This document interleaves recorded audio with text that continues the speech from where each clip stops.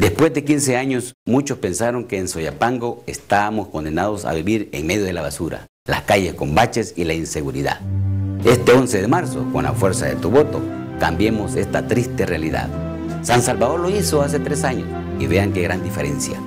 Los invito a que votemos en Soyapango por el modelo municipal de arena, que ha demostrado que los problemas sí tienen solución. Jaime Lindo, alcalde de Soyapango.